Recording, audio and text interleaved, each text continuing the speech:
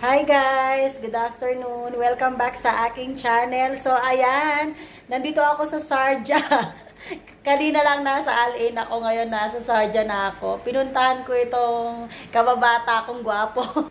so nagluluto po siyang ano, buttered shrimp. Pakita ko, saglit lang ha. Ayan, ito yung buttered shrimp niya. Malalaki yung hipon guys. Mga high blood na tayo dito.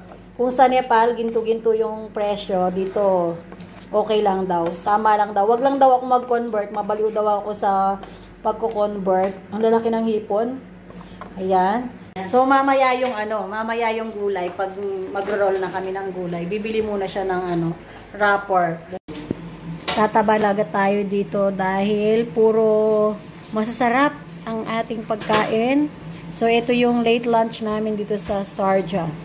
Ayan. Kainan na! Sarap guys, oh.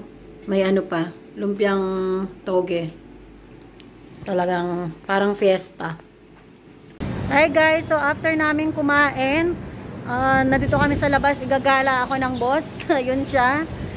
Gagala niya ako dito para may may vlog ako kasi ilang araw na ako hindi nagba-vlog. So ikot-ikot lang kami dito. Dito sa may may, may park. Ikot-ikot dito. At least dito hindi ganong nakakatakot mag-vlog-vlog. Walang ganong mga nakabalot na itim. Doon kasi sa, ano, halos maraming nakaitim eh. So, ayan. Ito yung labasan ng Sarja. Ayan. So, ayan guys. Pumasok kami dito sa may sweet. Sa may sweet na ano, Pasay. Ayan, kaibigan ni boss yung mga nagtatrabaho dito. Hindi kami bumibili tinapay, pero bibigyan niya kami. Tapatate niya sa amin itong Garedo. Oh, Garedo daw to libre. libre lang ito. Tikman daw natin. Ano? Gareta. Tikman daw natin nakalibre. Talagang itong boss na kasama ko. Oh, talaga. libre talaga. Kainin muna na. Ay, ang sarap ng amoy.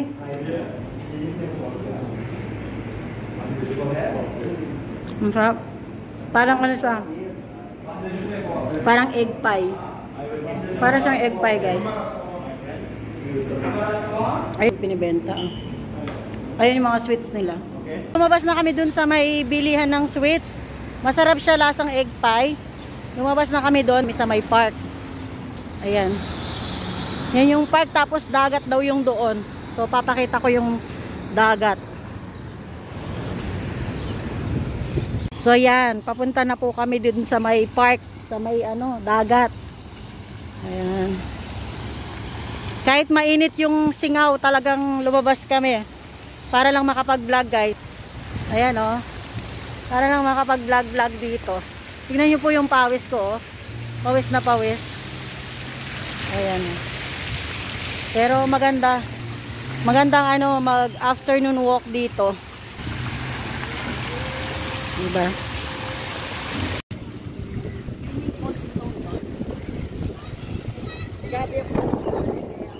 Ayan. Naku, kung nandito lang si Cassie, mag-enjoy siya dito. Yan yung inuhulugan ng coins para ikot-ikot ka doon. Ayan o. Oh. So, mamaya daw guys, maraming tao dito kasi mainit pa. So, mamaya daw puno na daw mga tao dito na nag, ano, nagpapahangin dito. Ayan. Sarap nga, tingnan nyo po, oh. May hangin talaga. Mainit yung singaw, pero at least may hangin ba. Ayan. Ayan. Ito yung dagat. Lapit tayo dito. Ayan. Diba?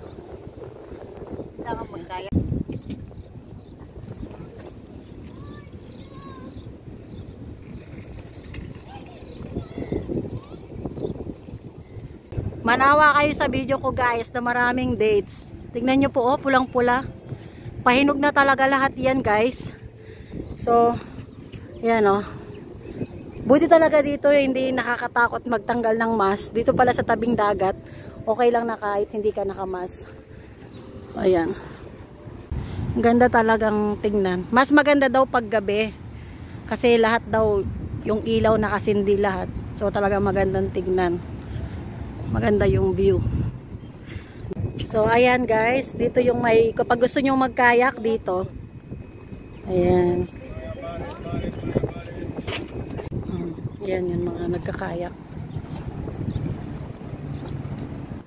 Lang kami dito sa may mga damuhan. Ayan. Ayan. At tingnan nyo yung mga ano dito, gusali. Gusali, Tagalog na Tagalog. Mga building. Mga buildings. Ayan. Ayan. Talagang lakad pa kami guys hanggang doon. Marami pang lalakaran. Ayan.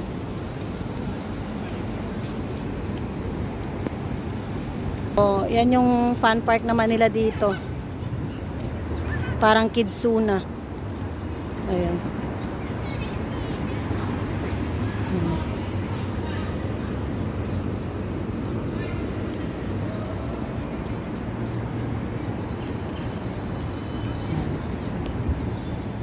Magsawa po kayo sa ano, mga building lang ang pinapakita ko ngayon, guys. Ayan.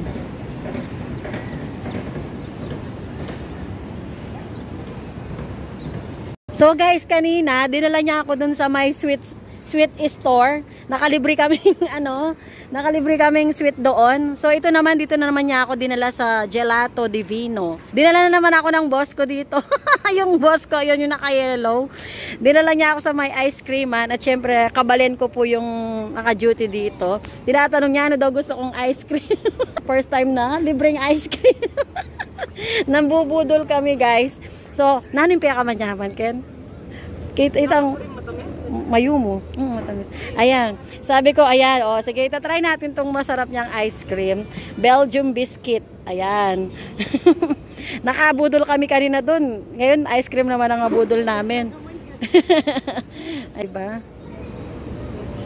Meron din budol. Kung may, may budol sa Nepal, may budol din dito sa UAE. Ayan. Ito yung ice cream natin, guys. At may pa-Pepsi pa ang isang mayora. Ayan. No? Lalakad ka lang pala dito, makaraos yung tiyan mo. Guys, abangan nyo ang next vlog ko. kung merong Inday, na yung pangalan na? Inday Noring. Kung meron, kung, kung, kung may Inday Noring sa US, magkakaroon ng Gemma Noring.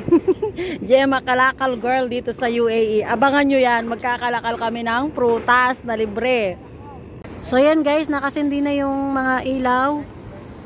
Wala pa yan. Doon sa dinaanan namin kanina, mas magandang tingnan yung mga ilaw. Ayan. Yan yung likod ng mosque nila. So ayan guys, ginabi na kami dito sa labas. Pabalik na po kami doon sa tirahan ng ating boss. Ayan. So yung iba hindi pa nakasindi yung mga ilaw. Hindi ko nahahabaan yung video ko. Ay, tulad ng sinabi ko, abangan nyo po ang aking video na magkakalkal ng basura. Basura na pwedeng kainin. So ito na muna ang ating vlog guys. Inikot ko lang kayo dito sa mga building at dito sa tabing dagat. Yan. Short video lang tayo ngayon. So hanggang sa muli. Bye-bye!